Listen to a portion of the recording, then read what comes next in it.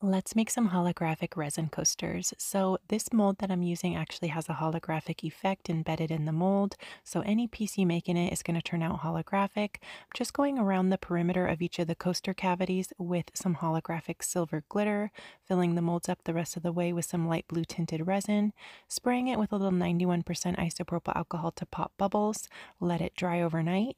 Here we are ready to demold them. I think they turned out so pretty. I love how sparkly and beautiful beautiful they are.